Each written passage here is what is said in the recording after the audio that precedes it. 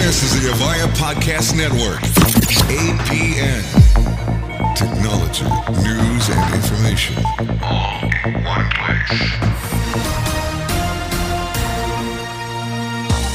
This is the E911 Talk Podcast, episode 107, recorded Friday, September 28th, 2012. Welcome to this edition of E911 Talk with your host, Mark Fletcher, product line manager for emergency services at Avaya. Now, here's Fletch. Call it fate, call it destiny. The fact of the matter is, quite often two completely random events come together when they're least expected. I was visiting a large global Avaya customer in Chicago on Friday, who, like many of our customers, are going through a flatten, consolidate, and extend, or FCE exercise, in their global telecommunications network. One of the popular network infrastructure models today is for companies to move to the cloud for many of their services. And often some large companies will view their own data centers as the cloud providing their regional and remote branches with telecommunications and web based applications. Not only does this provide an economical environment to consolidate PSTN trunking for both inbound and outbound calls, the key point here is that the cloud doesn't necessarily have to be a public cloud.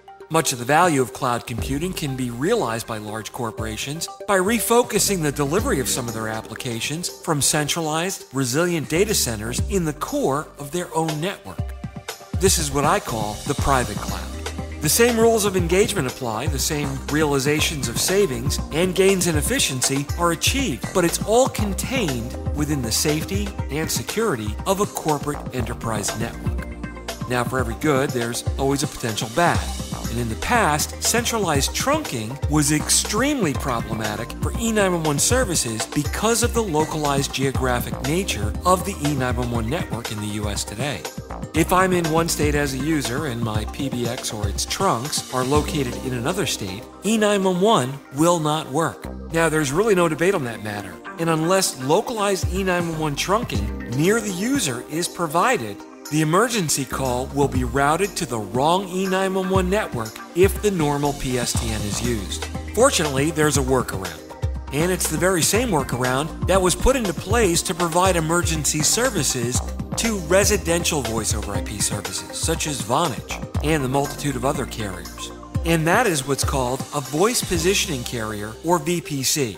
Quite simply, the VPC is a carrier with a national presence that can provide call repositioning services and connectivity to almost any public safety answer point, or PSAP, in North America or Canada. The problem here is the E911 VPC services may or may not be included in your service agreement.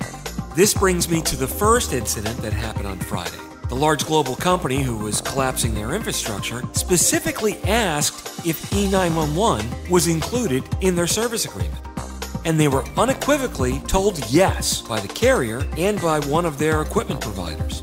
They did their due diligence. They listened to my podcast and they were sure that they asked the right questions. Almost. Although E911 service may have been included contractually, there were probably specific clauses in the master service agreement that outlined specific terms regarding enhanced 911 call treatment. Which brings me directly to the second incident, which, from a customer perspective, was completely unrelated, but very relevant.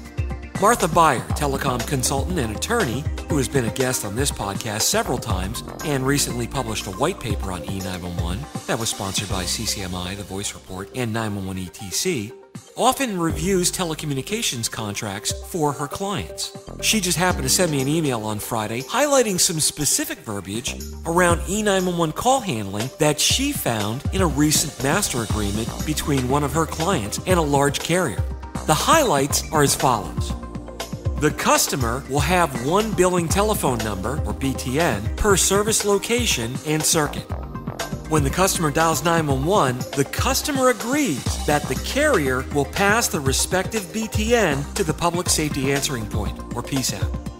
If the customer requires specific ANI for each calling party number, or CPN, even if for compliance with state or local E911 requirements, the customer agrees to update the PS/ALI database via a third party enhanced 911 provider for each DID or group of DIDs. The carrier strongly advises that the customer does not allow any number to become active unless the PS/ALI and the PSAP database updates for each number have been completed. It is the customer's responsibility to understand the state laws that pertain to them in regards to E911 requirements and compliance obligations. The carrier specifically disclaims any such obligation. Well, I think that you can agree that even though E911 is, quote, included with the service, unquote, that the customer requirements are certainly not being met from a mobility perspective, and remote workers are not even being addressed in any manner whatsoever. The lesson here is, is if you're an enterprise telecommunications manager or you're responsible for E911 services in your organization, don't take anything at face value. Make sure you not only require E911 in your carrier agreements, when they tell you that it's included, make sure you both agree what exactly it actually is. Like these two examples, you may just find that there's quite a difference in opinion. Don't forget to follow me on Twitter at Fletch911 this week as I'm working on a story about Legacy E911 and how a particular carrier is going to support it in the future or decommission it. That's coming up right here on the E911 Talk podcast. You've been listening to the E911 Talk Podcast with your host, Mark Fletcher, product line manager for emergency services at Avaya. E911 Talk is a weekly podcast available on sites like this, as well as iTunes, and is available free of charge. If you have any comments or questions, you can email Fletch at FletcherM at Avaya.com. That's Fletcher, the letter M, at Avaya.com. Be sure to listen in next week for more informative topics on E911. 911, the line is recorded. What is the exact location of your emergency? This is the Avaya Podcast Network, APN.